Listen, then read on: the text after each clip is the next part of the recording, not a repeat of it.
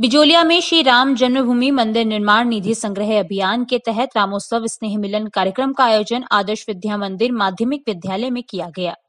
कार्यक्रम की शुरुआत अतिथियों द्वारा भारत माता व भगवान श्री राम के चित्र के सम्मुख दीप प्रज्वलन कर की गई।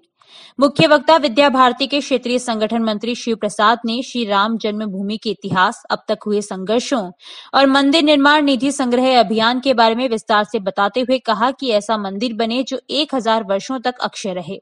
इसके लिए मुक्त हस्त से निधि समर्पण करें। निधि समर्पण अभियान के तहत छह लाख गाँव में 40 करोड़ हिंदू परिवारों से संपर्क किए जाने की बात भी कही। संत परमेश्वर दास ने कहा कि बड़े भाग्य से मनुष्य जन्म मिलता है, इसलिए धर्म का कार्य करें।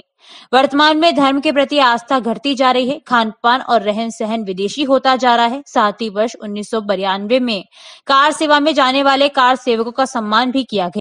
श्री राम जन्मभूमि मंदिर निर्माण के लिए घनश्याम मेड़तिया द्वारा एक लाख इक्कीस हज़ार एडवोकेट मोहनलाल, सुमित कुमार जोशी द्वारा एक लाख इक्कीस हज़ार बद्री प्रसाद गुरुजी परिवार द्वारा एक लाख ग्यारह हज़ार लक्ष्मी नारायण ब्रह्मभट्ट द्वारा एक लाख एक सौ एक, श्याम अहिर तिलस्वा ने एक लाख एक हज़ार, प्रभुलाल धाकर ने इक्यावन हज़ार, अमित गोखरू ने इक्यावन हज़ार व अन्य लोगों ने भी समर्पण निधि की घोषणा की।